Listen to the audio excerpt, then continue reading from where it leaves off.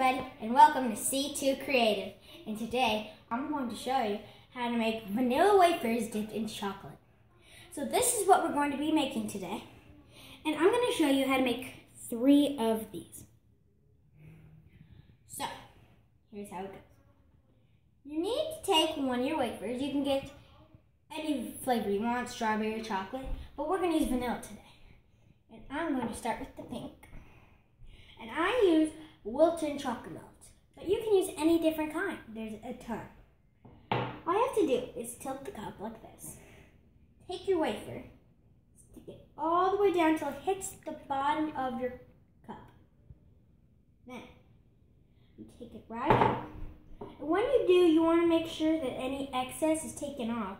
So you want to take it up and down and side to side until most of the excess is off. Then, once it's off, you're going to take it up, like so. Then you're going to add whatever kind of decoration you want with your sprinkles. Today I'm going to show you how to make one with hearts for this one. So all you have to do is take one red heart or any color heart that you have, as long as it doesn't match the chocolate.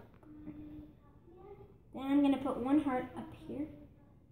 You don't want to press on it too hard or it'll make the rest of the chocolate expand, and you don't want that.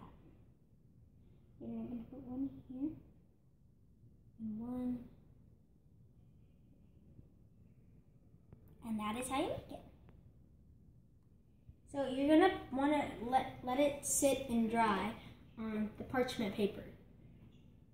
Now, you're gonna, this time we're going to be making a red one with sprinkles.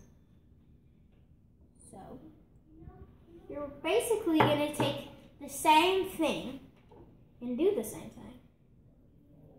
Just like this. And you want to make sure it's even on both sides so it's easy enough to put the sprinkles.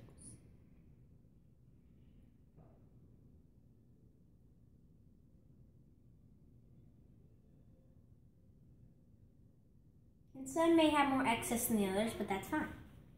Now we're going to take some sprinkles we're going to take these kind of sprinkles. And you might want a bowl to catch all the loose sprinkles that don't stay out. And we're just going to put them like this. We don't want to put too much on there. Just an even coating to go all the way around. Even on the sides if you want. And that is how you make one of those back on the parchment paper to let it sit and dry for a little bit. Now this one is going to be a little different. We're actually going to put some writing on this one. This one is going to be white. And the beginning for all of these is always going to be the same. Tilt, stick it down, make sure it's even, take it back up, and take all the excess off.